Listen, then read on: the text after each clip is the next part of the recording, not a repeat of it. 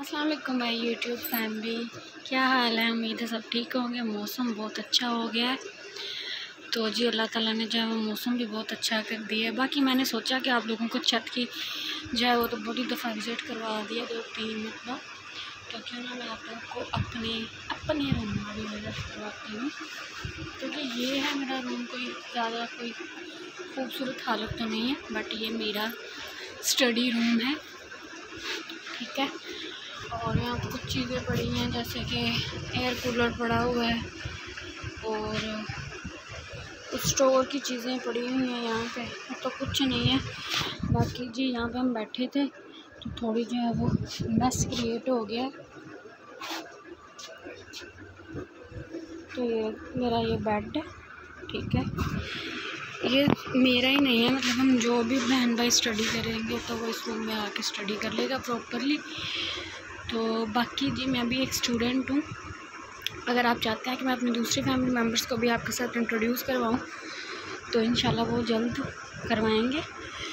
और, लेकिन मुझे अपने घर की सबसे ज़्यादा बेहतरीन जो जगह लगती है ना, वो अपनी छत लगती है। बिकॉज़ uh, वहाँ पे मुझे मैंने आपको बताया अपने बहुत सारे व्लॉग में अगर आपने वो बात नहीं सुनी कि मुझे अपनी छत क्यों अच्छी लगती है तो मेरे पहले व्लॉग जाकर देखें आपको वजह नज़र आ जाएगी। और चल ठीक है आज भी हम छत पे जाएँगे वहाँ पे देखेंगे कोई नई चीज़ और मैं आपके साथ जो है वो शेयर करूँगी। बाकी जी जिन्होंने मेरे चैनल को सब्सक्राइब नहीं किया तो सब्सक्राइब कर दें।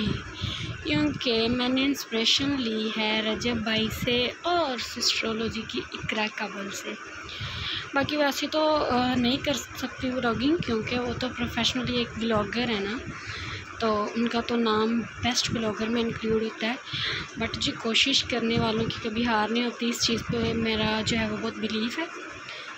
तो इन मैं आज भी छत पे जाती हूँ, वहाँ पे आपको बहुत सारी चीज़ें दिखाऊँगी और अपनी बहुत सारी फैम, मेरी बहुत बड़ी फैमिली और बहुत अच्छी है, फ़नी फैमिली अगर मैं उनको व्लॉग में ले सकूँ तो आपको बहुत मज़ा आएगा, आप बहुत इन्जॉय करेंगे।